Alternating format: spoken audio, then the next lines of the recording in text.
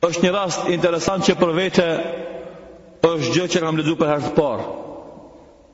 Një sqarim i Abdullah ibn Abbasit radhiyallahu anhuma për Arafin. A dini çka është Arafi? Në Kur'an ka një sure që e ka emrin Al-Araf. A dini çka domethënë Al-Araf? Perde, mur, vend mes xhenetit dhe xhehenemit. Një që thuhet mes zonë. Ashtu sikurse kufijtë e shteteve që kanë mes zonë, ashtu kanë edhe xheneti edhe xhehenemi kanë një vend që quhet Al Araf. Shikoni se si e ka komentu Ibn Abasi këtë çështje, për të kuptu rëndësinë e bamirësisë ndër neve. Thot Abdullah ibn Abasi radhiyallahu anhu kur e kanë pyt se çka është Arafi dhe kush janë banorët e Arafit.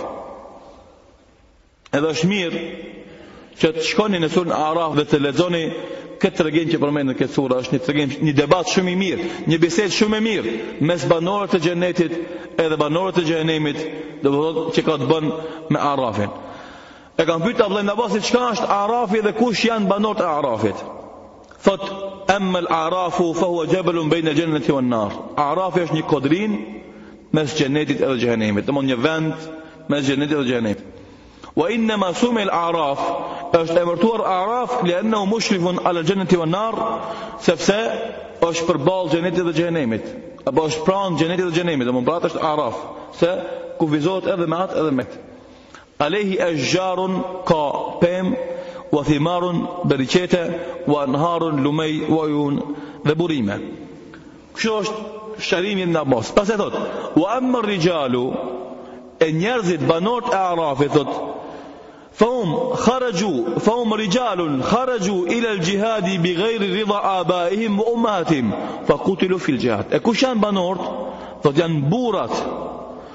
që kanë dalë në luftë pa lejen e nanës edhe babës dhe janë vra në luftë. Subhanallah. Ne e dim se shehidi shkon n'xhenet Edhe atë me automatizëm Thot ibn Abasi radiallahu anhuma Thot njerëzit që kanë shku në luft Pa pyt nanë edhe babë Pa lejen e tyre Edhe vdesin n'luft janë banorët e arafit Pse?